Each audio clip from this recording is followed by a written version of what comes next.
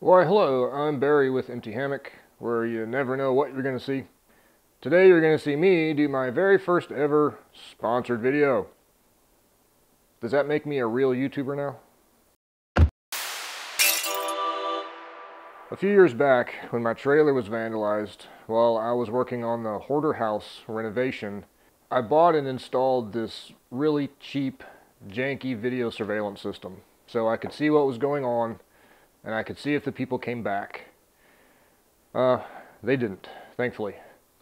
That camera system was super janky and hard to use, but it showed me what was possible in a home surveillance system in order to keep my farm or my property safe.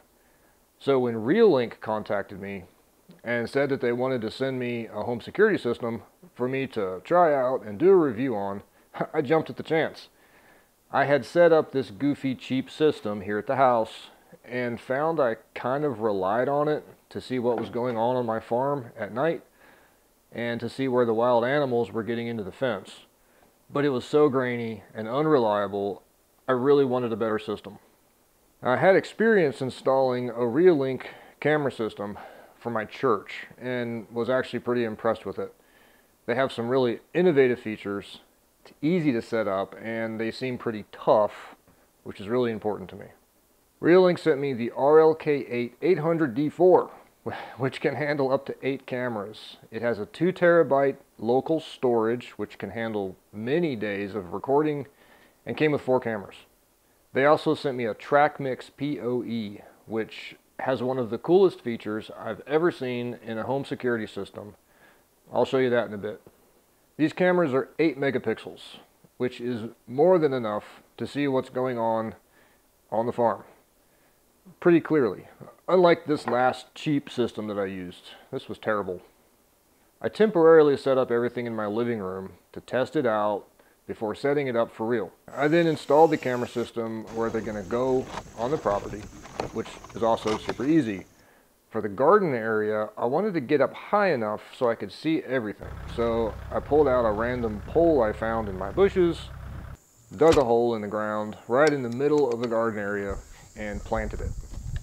I built this extension arm away from the pole for a better angle to get it away from the pole, and I gave the camera a little hat to keep the water out of the screw holes on the top of the housing.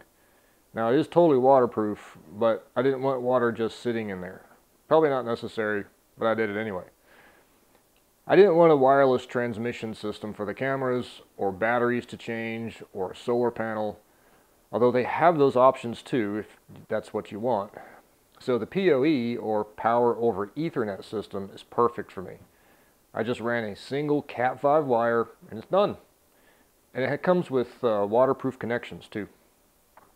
The biggest reason I wanted to try Reolink system was that it works fantastically well not connected to the internet. Or you can hook it up to your phone so you can watch your property from anywhere in the world. You have that choice, which I like. You can also black out areas you don't want recorded, like my greenhouse.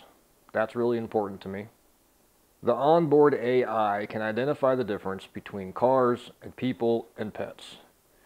During playback, you can also select only what you want to show so that you can scrub right to what you want. It helps out so much when trying to find a certain event during playback. Also, if you want, you can get push notifications to your phone, you know, when your neighbor tries to steal a tomato, or if your dog or a predator is in your chicken coop. You can set the maximum and minimum sizes that the AI uh, identifies and sends you an alarm for, you can tune it to your needs. There's tons of different options for notifications.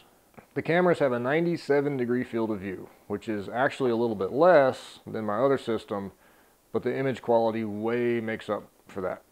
it is good. I just got home from work and uh, set everything up on my phone just to see how it works. And I have the camera up there on the pole the wire is just temporarily strung up. That's the uh, PoE, power over ethernet wire. I'm going to end up making it a lot neater and burying it in the ground, but I haven't yet. I just want to see if it works. So there's the camera and what I'm going to do is uh, see if it sees me on my phone. Alright, so I'm going to show you this view. Oh look, there's me. So you can see how much of a delay there is from real time. Like two seconds. So this is actually over cell data because I'm too far away from my house to get Wi-Fi. That's pretty good. So there's a button on here that says trigger alarm. Let's see what that does. It's right up here at the top. Trigger audio alarm.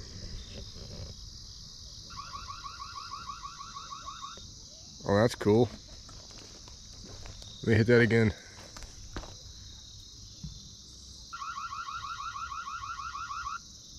Huh. And then trigger light. Yep. So again, I'm doing that from the app. So I'll show you when I push the button here. Hello. A light comes on on the camera. That's actually pretty neat. So if you're out somewhere and you're looking at your camera and you see somebody that, you know, shouldn't be there, or if there's an animal or, um, you know, if a, a critter is coming in here to get at my birds, I can just go and make an alarm. That's actually pretty cool. Wow, I really need to change their water. Good grief, they're messy. One of the main reasons that I wanted to get this particular camera is the fact that I can move around.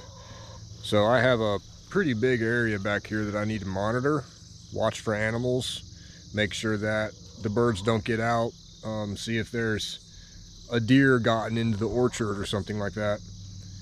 So that camera enables me to watch the entire area and I can do that from my phone or from my house. Um, I'm probably not going to have the whole unit set up to Wi-Fi to cell data all the time. I just don't like that idea. But when I need it, I'll have access to it. I can plug it in, I can log in, and there it is. So let's see what happens. I'm going to show you the camera and the screen at the same time.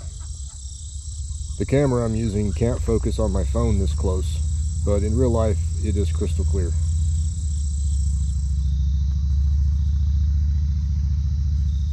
One other cool thing that I just saw in here is uh, the camera records audio.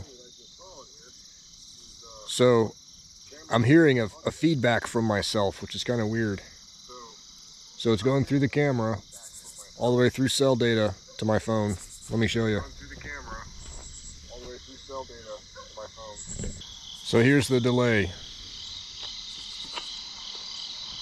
So here's the delay. Hey you! Hello. Hello.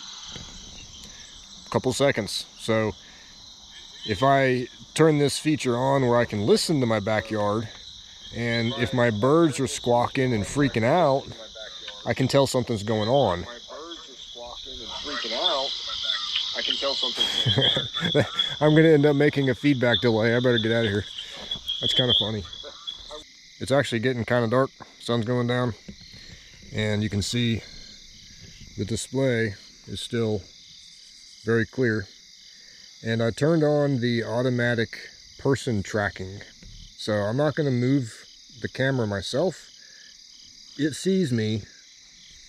And watch what happens. I'm not doing anything. It's doing this completely by itself. So as I walk around, it's following me, and zooming in and out. That is awesome.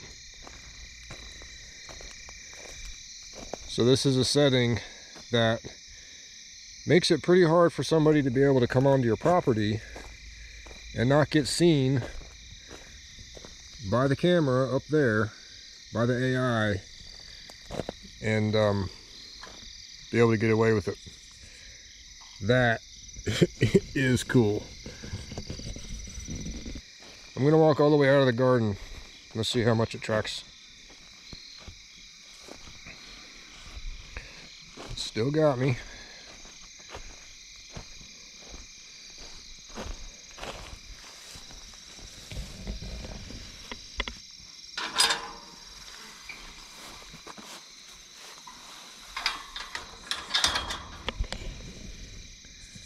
Goodness. So for reference, the camera is way over there and it's still watching me. It's still crystal clear, very bright, even though it's getting dark outside. When I heard about that feature, I was like, oh, come on. How accurate can that be? That's awesome. And I can also talk through the cameras. I can hit talk, tap to talk. Hey, what are you doing? Hey, what are you doing? and it goes all around my entire property. That's cool.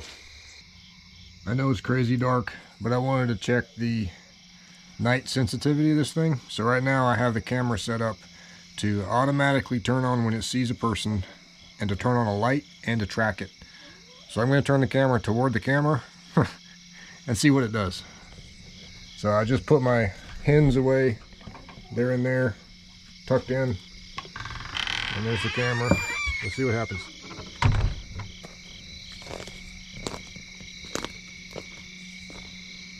Ah, you caught me. And it's looking right at me. In just a few days, now that I've had the system running, I've already captured a few different critters snooping around on my property and even saw some random fireworks display. I don't know what that was about. I think these cameras are a great addition for my home and garden security. Reolink has tons of different options on their website, bunch of different setups. If you want to watch your property, head to the link in the description and visit Reolink's smart security cameras and use the code HAMMOCK for a discount. Okay, bye.